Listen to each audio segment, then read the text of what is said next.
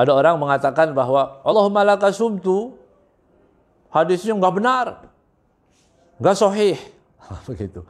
Hadis nggak benar, hadis nggak sahih. Taruhlah hadis itu taruh, ya. Kita hukumi bahwa dia hadisnya doif. Membaca hadis yang doif boleh tidak dalam berdoa? Hadis doif boleh nggak? Boleh. Orang berdoa uh, dengan hadis dengan doa hadis yang doif boleh, tidak ada larangan.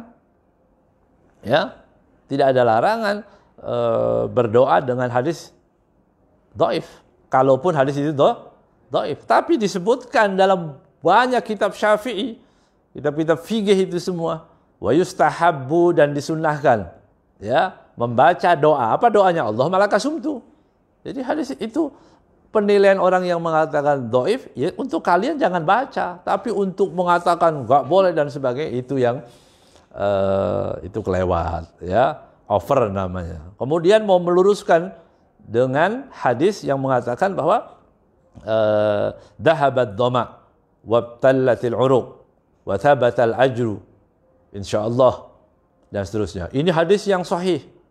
Baik, kalau kita mau meluruskan hadis yang sahih harus dibaca dengan bacaan yang benar juga. Nah, kita mau meluruskan orang. Tidak ada itu hadis yang benar. Wasabatil ajr. Nggak ada sabatil ajr. Dalam hadis itu disebutkan wasabatal ajru. Baca yang benar hadis Rasulullah SAW.